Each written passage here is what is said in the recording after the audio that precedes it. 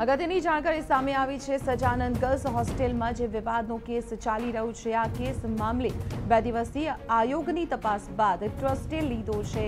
મહત્વપૂર્ણ નિર્ણય માસિકના ત્રણ દિવસ દરમિયાન પડાવાતા નિયમોમાં આખરે ટ્રસ્ટ ફેરફાર કરવા તૈયાર થયું છે. નિયમોમાં ફેરફાર માટે આયોગને લેખિત ખાતરી ટ્રસ્ટ દ્વારા આપવામાં આવશે. આપણે જણાવી દઈએ, ગઈકાલે એક ટ્રસ્ટી અને સંચાલક દ્વારા નિયમોમાં ફેરફારને લઈને નકાર કરવામાં આવી હતી જોકે આજે જે જાણકારી સામે આવી છે, રાષ્ટ્રીય મહિલા આયોગની ટીમે ગઈકાલે જે હોસ્ટેલ છે તેની મુલાકાત લીધી હતી, ઘટના સ્થળની મુલાકાત લીધી હતી, વિદ્યાર્થીનીઓ સાથે વાતચીત કરી હતી અને હવે એક મહત્વપૂર્ણ સમાચાર આ સમગ્ર વિવાદમાં સામે આવી રહ્યા છે, જે ત્રણ દિવસ જે માસિકના હોય છે, તે દરમિયાન જે નિયમો હોસ્ટેલના ટ્રસ્ટીઓ દ્વારા બનાવવામાં આવ્યા હતા પડાવવામાં આવતા હતા. તે નિયમોમાં હવે ટ્રસ્ટ ફેરફાર ફેરબદલ કરવા માટે તૈયાર થઈ ગયું છે અને તે માટે તે આયોગને લેખિતમાં જાણકારી પણ આપશે. ત્યારે સંવાદદાતા જય દવે અત્યારે ફોન લાઈન પર જોડાયેલા છે. જય, જાણકારી મળી રહી છે કે ગઈકાલે તો નિયમોમાં ફેરફાર ન કરવા માટે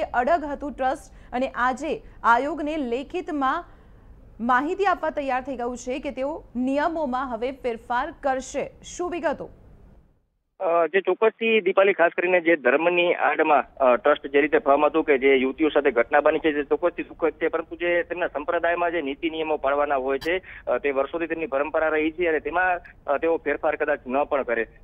ચોક્કસથી તેઓ જે ખુલ્લી રીતે આયોગને જણાવ્યું હતું કે આ નિયમ અમારી જે હોસ્ટેલો છે અથવા કોલેજો છે તેમાં વર્ષોથી ચાલ્યો ચાલ્યો આવતો છે, પરંતુ આ જે ઘટના છે તે બાબતે દુઃખદ છે. પરંતુ ચોક્કસથી આયોગે સૌથી ગંભીર બાબત આ વસ્તુને ગણી હતી કે જે રીતે ત્રણ દિવસ સુધી માસિક ધર્મ દરમિયાન યુવતીઓ સાથે જે વ્યવહાર કરવામાં આવતો હતો અથવા તેમના માટે જે અલગ નિયમો બનાવવામાં આવ્યા હતા, તે ચોક્કસથી ક્યાંક ને ક્યાંક જે યુવતીની સ્વતંત્રતા છે તેના ઉપર તરાપ છે અને એકવીસમી સદીમાં આ પ્રકારના જળ નિયમો છે તે ચાલી શકે નહીં.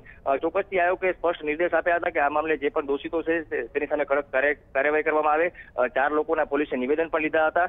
આજે પણ હોસ્ટેલના જે સંચાલકો છે તેમની સાથે અને ખાસ કરીને પોલીસ સાથે એક બેઠક આયોગે યોજી હતી અને ત્યારબાદ આયોગે માહિતી આપી હતી કે ટ્રસ્ટે હાલ પૂરતી તેમની સાથે જે ચર્ચા થઈ છે તે મુજબ તેઓ તેને લેખિત ખાતરી આપશે અને જે નિયમો ત્રણ દિવસ દરમિયાન યુવતીઓને પાળવાના હોય છે, તેમાં તેઓ ચોક્કસથી ફેરફાર કરીને તેમની સાથે જે વર્તન કરવામાં આવ્યું હતું તેમાં ફેરફાર કરી કરવાનો નિર્ણય લેવામાં આવ્યો છે.